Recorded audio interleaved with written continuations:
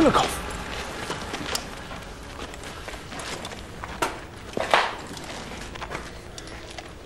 Don't you think that was strange? That last one. They sent him out to get shot like the others. It's not natural. Not without artillery, without trying to cover him.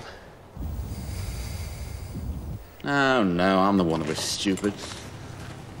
They don't give a shit about telephone guys. I mean, it's like us with the Ukrainians.